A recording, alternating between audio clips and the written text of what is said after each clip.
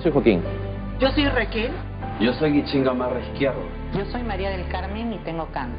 Tengo VIH. Y tengo lupus. Tengo VIH y vivo mi vida. Y sigo mi tratamiento. Y doy pelea todos los días. Pero me he enterado de algo que me preocupa mucho. Nuestro gobierno está negociando un nuevo tratado comercial junto a varios países de Asia y el Pacífico, el TTP o Acuerdo Transpacífico. El ministro que lo negocia ha dicho que será bueno porque aportará crecimiento económico. Y genial, que así sea. Lo que no ha dicho este ministro, que en este TPP también se está negociando un tema bien serio, nuestra salud. En el TPP hay capítulos donde se hablan para ampliar los criterios para dar patentes a los medicamentos y a los tratamientos. ¿Qué significa esto? Más monopolios, menos competencia, menos medicamentos genéricos. O sea, precios más altos. Y yo no puedo darme ese lujo. Ni yo. Ni yo. Gracias a la competencia y a los medicamentos genéricos, mi tratamiento de VIH bajó de 10 mil a 150 dólares por año. Y estoy viva. Beneficios como estos podrían desaparecer. Para mí. Para ti. Para alguien que conoces. Y todo para que las grandes farmacéuticas tengan más rentabilidad. ¿Tiene sentido? No. Para protegernos, nuestro gobierno debe rechazar los capítulos del TTP que negocian nuestra vida. Pero ya sabemos cómo es. Tenemos que hacernos escuchar y exigirles que se pongan fuertes. Para lograrlo, necesitamos que entres a nonegociable.pe y firme la petición que presentaremos al presidente. Por cada firma sumaremos una cápsula simbólica a un frasco que enviaremos al presidente explicándole el pedido. ¿Quieres que tu seguro de salud siga subiendo? ¿Quieres pagar a plazos tus tratamientos médicos porque son muy caros? Entra a nonnegociable.pe y di con tu firma que no. Comparte este video. Porque nuestra salud, nuestra vida, no es negociable.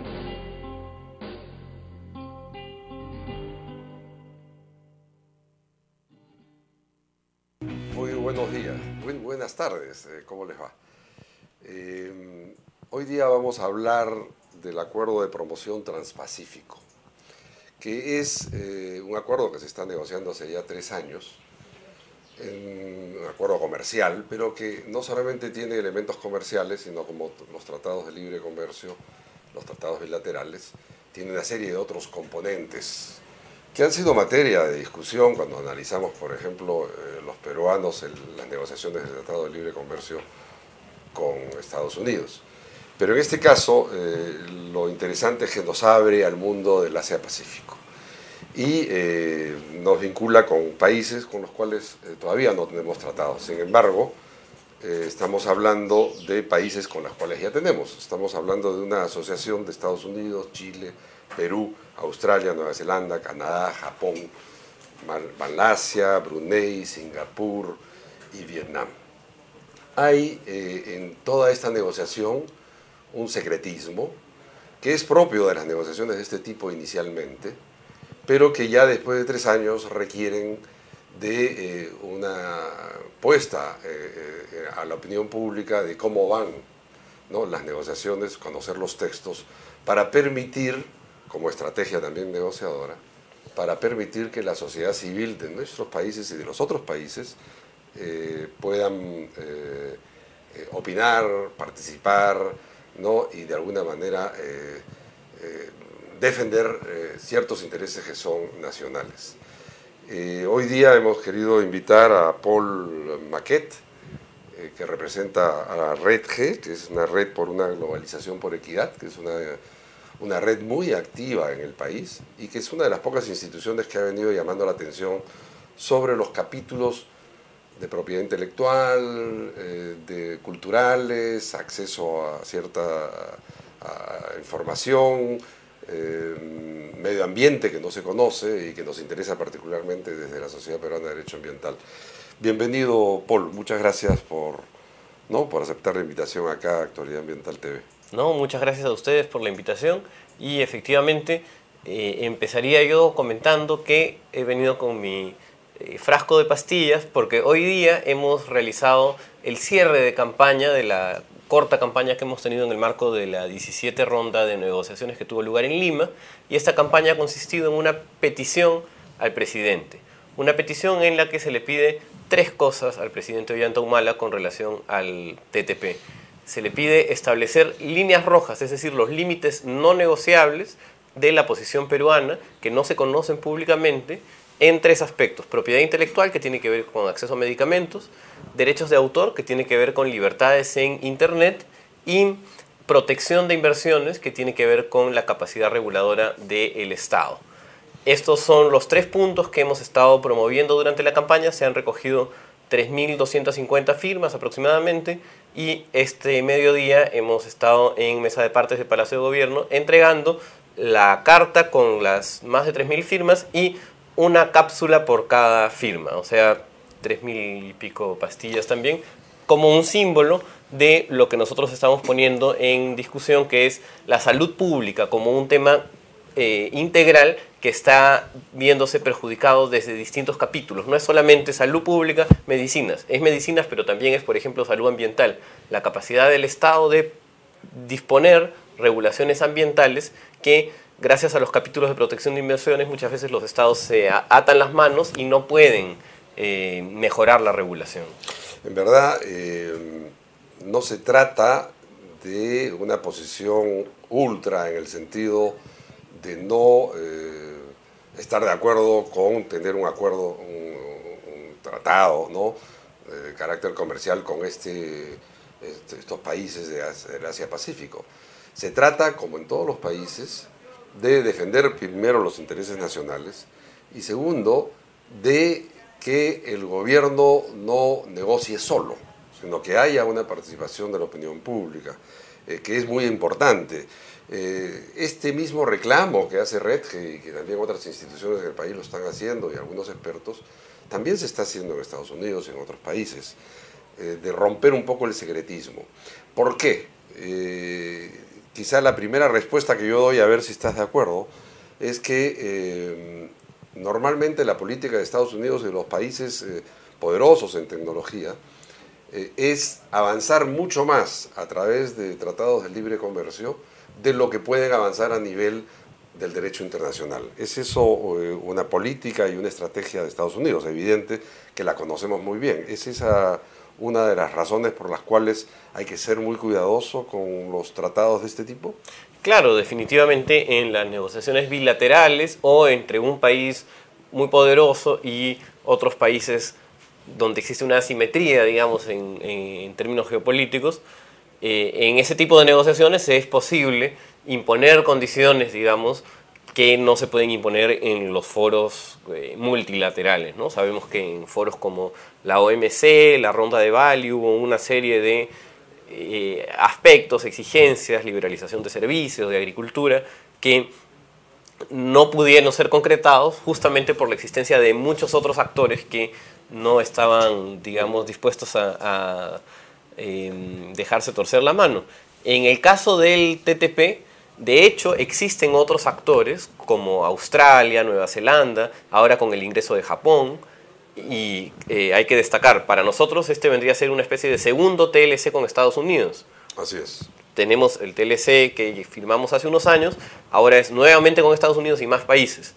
Eh, para Japón, por ejemplo, este es su primer TLC con Estados Unidos. Ellos no tienen un TLC anterior con Estados Unidos y por eso en este momento la sociedad, la opinión pública japonesa está muy preocupada por algunos aspectos que involucran acceso a mercados, propiedad intelectual, derechos laborales, medio ambiente, porque ellos por primera vez están negociando con este país. Entonces, ¿qué te quiero decir?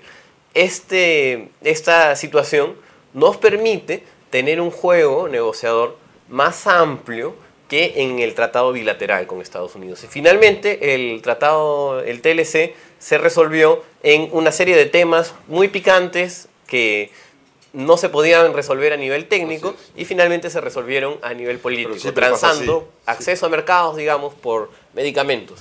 Eh, siempre pasa así, pero en este caso la existencia de otros actores permite un juego, digamos, más amplio. un ejemplo, Australia no está dispuesto a aceptar eh, el mecanismo inversionista Estado, que es este mecanismo por el cual los inversionistas extranjeros pueden recurrir a árbitros internacionales. Como el CIADI. Como el CIADI, el UNCITRAL, sin pasar por la justicia nacional, poniendo en cuestionamiento algunas medidas de los Estados. Caso Doerran. nosotros lo conocemos perfectamente, una empresa que ha incumplido diversas eh, disposiciones ambientales, tiene, se da el lujo de estar amparada por el tratado y llevarnos a un juicio por 800 millones. Bueno, Australia no quiere aceptar este tipo de mecanismos. Nueva Zelanda dice, ok, protección de inversiones, pero incluyamos una cláusula que diga que nada de esto puede interpretarse eh, en el sentido de impedir a los estados dar regulaciones sobre salud, sobre medio ambiente, sobre una serie de ámbitos. ¿Por qué el Perú no puede jugar en pared con estas posiciones? Eso es lo que nosotros planteamos, ¿no? ¿Cuáles son las líneas rojas y cuál es la posición negociadora del Estado peruano? Esas líneas rojas finalmente benefician al país, eh, porque lo que se trata, como bien dices, es de ir logrando consensos y de armonizando los intereses de cada uno de estos países. Y es verdad que Japón y, ¿no? y Nueva Zelanda y, otro, y Canadá no van a permitir eh, cambios en las relaciones que ya puedan tener bilaterales con Estados Unidos que sean adversos a ellos.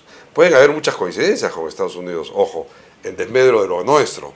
Por ejemplo, en temas ambientales muy probablemente van a exigir y van a estar cómodos con políticas forestales y a mí me parece muy bien porque yo estoy preocupado por el tema ambiental, ¿no? Eh, como en el caso del capítulo forestal del Tratado de Libre Comercio con Estados Unidos. O sea que es verdad, y eso es interesante. Ustedes están trabajando con otras instituciones, me imagino, de los países que, negocian. Bueno, de hecho, en el caso peruano, la campaña no ha sido eh, de unas pocas instituciones, sino de un colectivo grande de instituciones que incluye a ONGs, incluye a gremios, incluye a gremios agrarios, laborales, sindicales y a asociaciones de usuarios de medicamentos, por ejemplo, que son algunos de los que tienen mayor temor de las implicancias que el acuerdo pueda tener en propiedad intelectual. En el aspecto internacional lo mismo, ¿no? Hay muchos grupos de sociedad civil que están preocupados, cada uno desde distintas perspectivas, por porque aquí no se está estableciendo un TLC más, digamos. Lo que se está haciendo es establecer las reglas de juego para el APEC. Y mira tú, estamos hablando de los actores grandes que pueden, digamos, defender intereses este, diferentes y de esa manera hacer una negociación más equilibrada. Este es el TLC, el primer TLC para el APEC, pero no está China.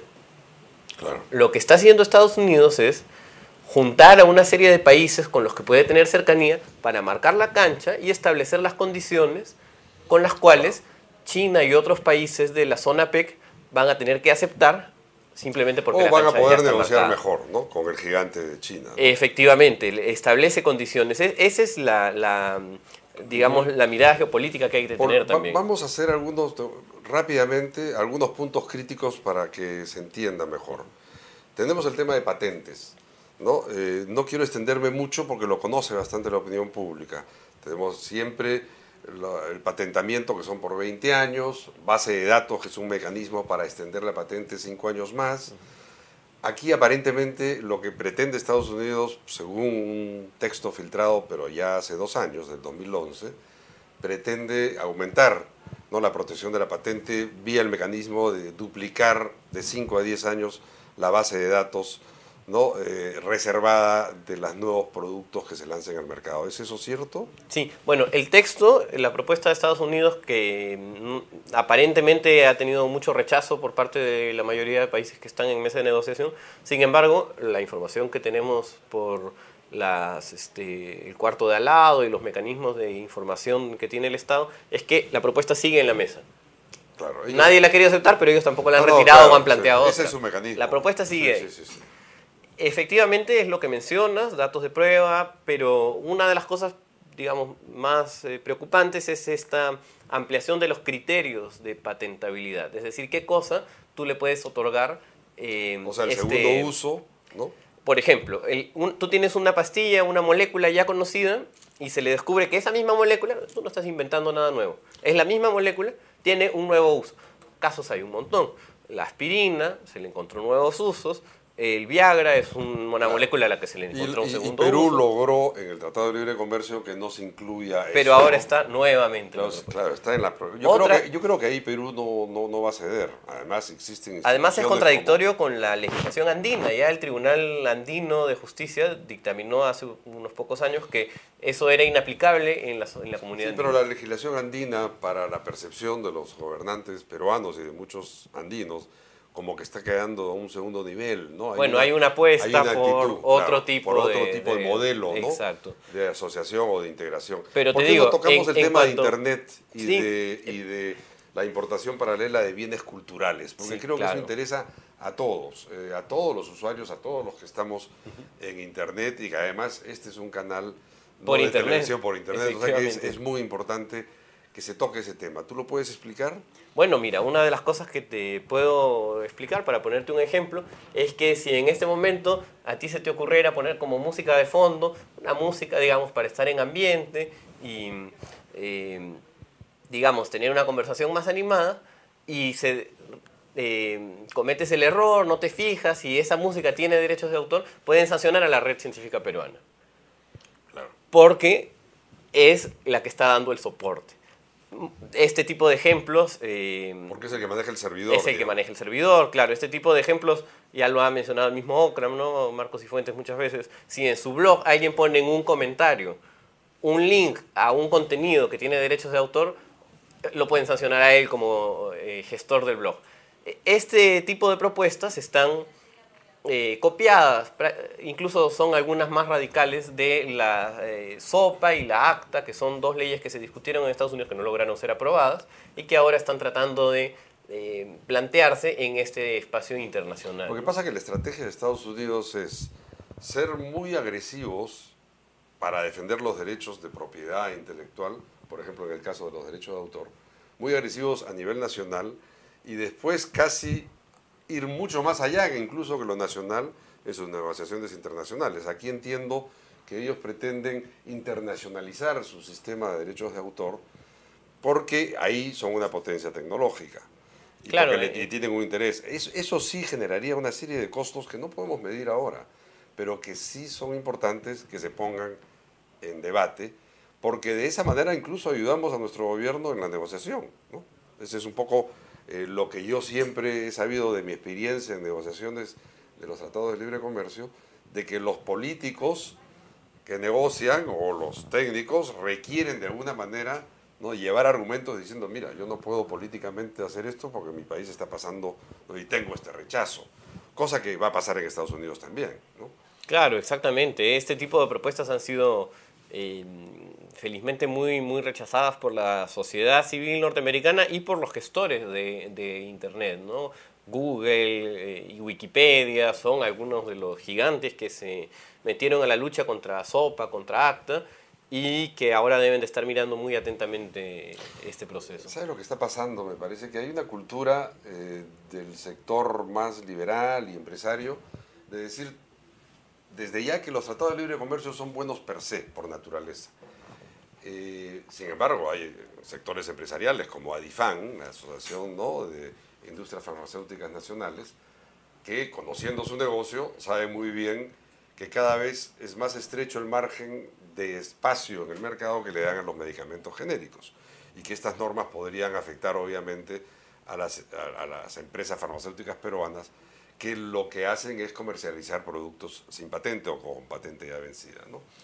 Eh, Y esa conciencia de que hay que negociar integralmente a veces es malentendida, y esa acción, como el caso de Redge, como que uno se está oponiendo al tratado mismo. Entonces colocan a uno en una posición de ultras cuando no es así. Yo no sé si esa ha sido la experiencia de Redge en todo este intento de poner en debate en la opinión pública eh, los temas que se están tratando, ¿no? Sí, claro, normalmente en esos temas hay una visión muy de blanco-negro desde cierto sector. Recordamos, sí o sí, digamos, qué mayor fanatismo que sí o El sí. de Toledo, ¿no?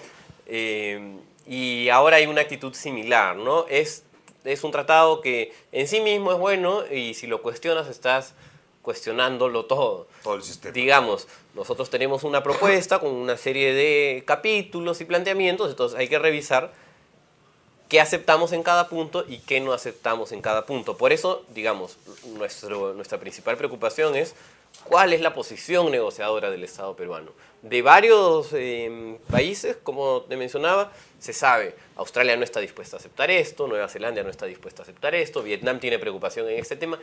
¿Cuál es la posición negociadora del Estado peruano? Necesitamos ese tipo de información Ahora, y ese Perú tipo de no va a poder rojas. tampoco, Perú no va a poder publicar, si es que no lo hacen todos los demás países, los textos en negociación. Yo creo que lo que hay que hacer es una presión ¿no? para que el conjunto de países que están negociando finalmente abran a la opinión pública. ¿Es- ¿Esto es así?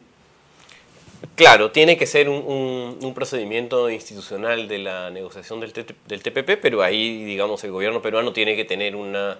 Este, Por lo menos un- una piedra en el zapato. ¿no Claro, tiene que eh, plantear muy firmemente que, eh, que el tema de transparencia y acceso a la información es un tema clave. ¿no? Bueno, eh, en verdad el tema da para mucho, hay muchos temas, eh, acceso a la salud y a los medicamentos, el tema del capítulo ambiental, que es muy importante, con Estados Unidos suscribimos todo un pequeño capítulo corto sobre biodiversidad y respeto a la biodiversidad y otros forestal. No sabemos nada sobre si hay, eh, cuál es el contenido de ese ¿no? capítulo. Y después hay estas otras amenazas que hablábamos de lo- de- a los usuarios de Internet y a los contenidos culturales, ¿no? que en verdad ahora no los vamos a poder tratar porque estamos eh, corriendo con el tiempo. ¿no? Yo sé, Paul, que estás tú también muy apurado porque tienes que llegar Sí. a una reunión. Yo quería agradecerte. No sé si quieres decir algo, algún mensaje final para, eh, en todo caso, generar mayor conciencia, ¿no? Sí, de- yo mencionaría algo aprovechando lo que me dices. El capítulo ambiental está muy bien. Normalmente mm, es uno de los aspectos en los que estos tratados nos ayudan a elevar nuestras exigencias. Pero al final, el peso que tiene el capítulo ambiental y el peso que tiene el capítulo de inversiones no es exactamente el mismo peso. Entonces, estos mecanismos como inversionista Estado, por los cuales los inversionistas son súper protegidos, tienen lo que nosotros llamamos super derechos, terminan pesando más que las posibilidades de establecer nuevas regulaciones ambientales en la lógica de los capítulos ambientales. Y quizá ha pasado en nuestros países y hemos sido, digamos, relajados en eso porque no confiamos en nuestro Poder Judicial. Y entonces creemos que el sistema de arbitraje, que es el sistema de CIADI, ¿no? que es mucho más costoso y todo, eh, finalmente es más efectivo y va a ser más justo. Por eso me imagino que en, las, eh, en los diálogos con otros sectores, van a, los políticos van a decir, mira, el CIADI en todo caso es una garantía que voy a poder defenderme, ¿no?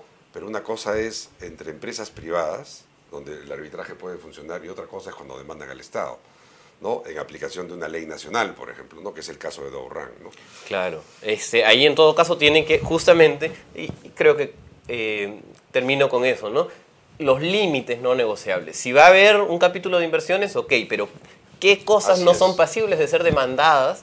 Eh, ¿Qué cosas deben ser garantizadas por encima de determinados superderechos de los inversionistas? Medio ambiente, salud pública son elementos esenciales, que no son negociables. Por eso estas líneas rojas eh, son un llamado más bien a generar un consenso nacional para apoyar a nuestro gobierno en las negociaciones. Son líneas rojas que todas están apuntando a proteger el bien común y los intereses de los peruanos.